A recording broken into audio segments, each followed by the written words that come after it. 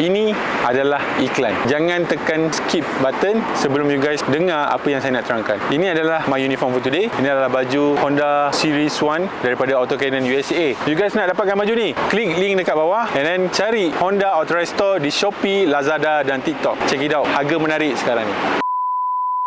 Alright, tadi you guys dah tengok dah drivability, handling and performance for the Honda Civic RS petrol version uh, all the way up to Genting. And then sekarang ni kita nak buat review ringkas luar dan dalam and then kita nak tengok whether this one practical ke tidak. Tapi sebelum tu saya nak ingatkan korang untuk like, share, subscribe the Honda guys. Jangan lupa untuk tekan button loceng sekali untuk dapatkan video-video latest daripada kami. Sebelum saya cerita review pasal kereta ni, kita nak cerita sikit pasal harga. For Honda Civic FE untuk variant E, harga bermula pada RM132,000 manakala untuk variant V harga dia start lebih kurang RM145,000 while for the RS petrol version ni harga dia bermula lebih kurang dalam RM152,000 while for the hybrid version yang tu harga starting lebih kurang dalam RM168,000 so sekarang baru kita boleh start review. First thing first LED headlamp ni sekali bas orang ingat dia menggunakan projector tapi sebenarnya dia masih menggunakan reflector LED headlamp which is very good in my opinion. And then insert pada bahagian lampu ni dia digelapkan dia berwarna hitam and lagi satu juga boleh nampak eh dia ada L shape black garnish dekat bawah ni dengan LED fog lamp dekat sini next dia ada logo RS berwarna merah dekat sini radiator grill dia berbentuk trapezoid Lepas tu ada macam hexagon punya shape for the radiator cover. Jom kita tengok bahagian tepi pula. This is how it look like pada bahagian sisi. Panjang dia sekarang 4.7 meter. Dia punya lebar lebih kurang dalam 1.8 meter dan dia punya tinggi lebih kurang dalam 1.4 meter. Okey, untuk tayar Honda dah equipkan Honda Civic FE RS dengan Michelin Pilot Sport 4. Sekarang ni menggunakan saiz tayar 235 40 R18 depan dan belakang sama. And then dia punya shoulder line dia start daripada sini terus sampai bersambung ke bahagian lampu belakang dekat sini. Since this is Civic sedan, dia ada cermin kecil segitiga dekat belakang sini. While for the hatchback version, this one tak ada. So kita cerita bahagian tepi kita tengok bahagian belakang pula Alright, so this is how it look like untuk bahagian belakang Honda Civic FE. Ducktail, standard untuk variant RS. And then dia punya lampu bentuk trapezoid macam ni. And then dia punya grafik berbentuk L terbalik. And dia ada logo RS kat sini yang menandakan ini adalah variant RS ataupun road sailing. And lagi satu features yang saya rasa model RS lama tak ada adalah dual tip exhaust yang agak prominent. Sebab macam last time dia agak tersorok dekat bawah bumper belakang ni. So sekarang you guys dah boleh nampak dia adalah sporty variant untuk Civic FE. And untuk boot space, Honda Civic tak kira apa variant, whether it's hybrid ke petrol version ke, dia punya boot space adalah sebanyak 497 liter of boot space. You guys boleh nampak berapa besar ruang yang ada untuk you guys bawa segala apa barang nak bawa balik kampung semua boleh masuk. And then lagi satu, ruang tak cukup. Tarik je switch ni dan kerusi akan automatically tumble down. Sebelum kita masuk bahagian dalam, jom kita tengok bahagian enjin This is the proven L15B engine yang menghasilkan 182 horsepower dengan 240 Newton meter of torque. Ini adalah engine yang sama yang Honda guna daripada Civic Ketam dulu. Tapi ada penambahbaikan yang mana versi ni dah datangkan dengan VTEC.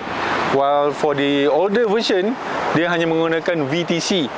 Right, so kita dah cerita bahagian luar, kita dah cerita bahagian engine. Jom kita tengok bahagian dalam.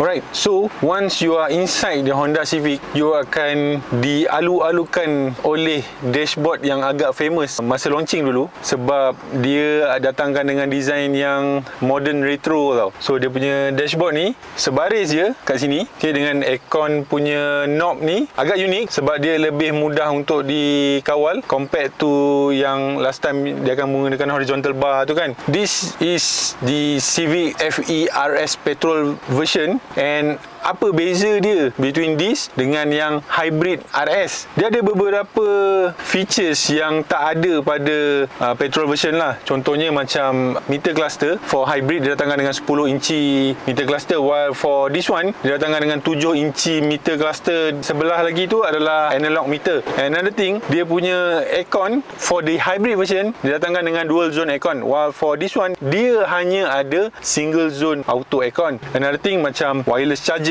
dan juga smart keycard tu lah which this one.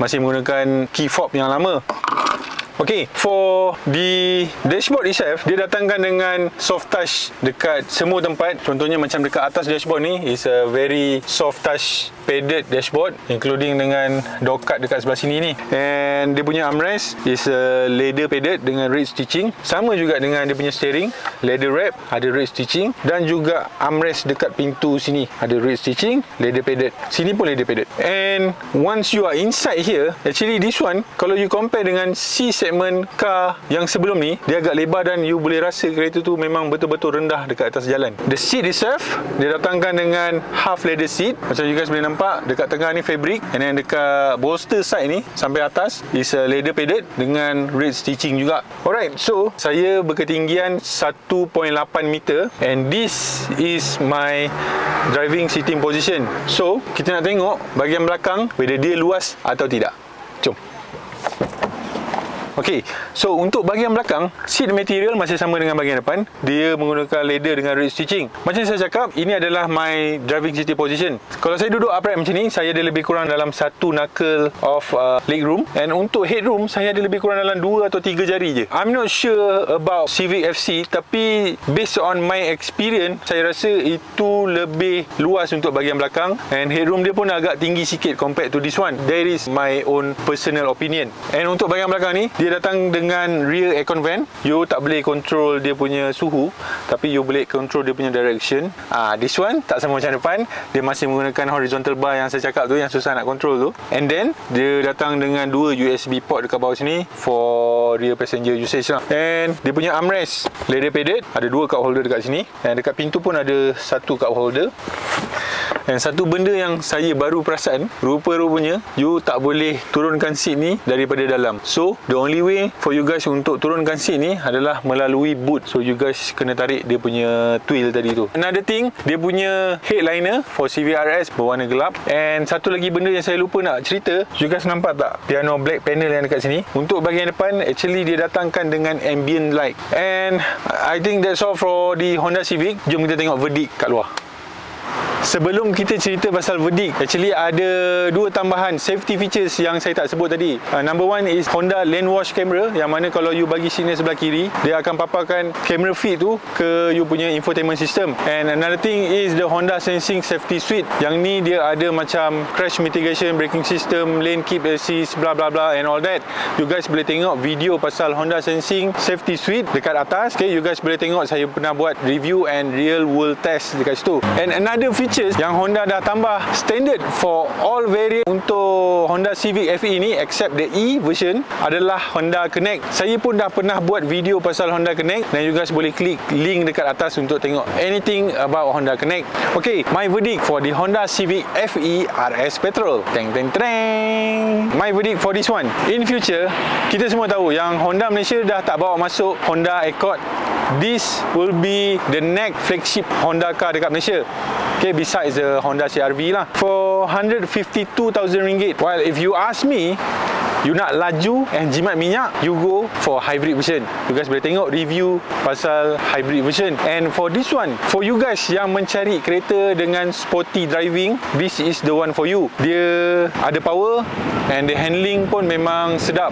Tapi all in all, kita semua tahu yang kereta ni bukanlah kereta sport betul. Ini adalah kereta yang untuk kita guna hari-hari dekat atas jalan. For fuel consumption, while we go up tadi saya dapat lebih kurang dalam 12.5 km per liter which is quite a good number sama je number tu dengan mana-mana kereta Honda yang lain lebih kurang average dalam 12 km per liter lah And another thing yang you dapat dengan Honda Civic RS, you dah tak perlu nak tambah apa-apa lagi dah. Macam body kit, dia memang dah nampak sporty dengan sport rim 18 inci. So basically kereta ni lagi-lagi dengan warna hitam macam ni. Oh memang mantap. If you are looking for a sporty C segment, this is the car for you. So what do you guys think about the Honda Civic FE RS petrol version? Komen dekat bawah. Okay, sedikit sebanyak berkenaan dengan Honda Civic RS FE version. Kita dah buat test drive, kita dah review inside and out about this car. And sebelum saya end video ni, saya nak you guys untuk like, share dan subscribe channel The Honda guys. Tanpa korang channel ni takkan hidup. And thank you to Ban Leheng Motor Seremban yang bagi kita pinjam kereta ni untuk kita buat review dekat sini hari ni. I'm Ik, macam biasa, signing off from this week video. We are the Honda guys. We are all about Honda. See you guys next time. Bye-bye.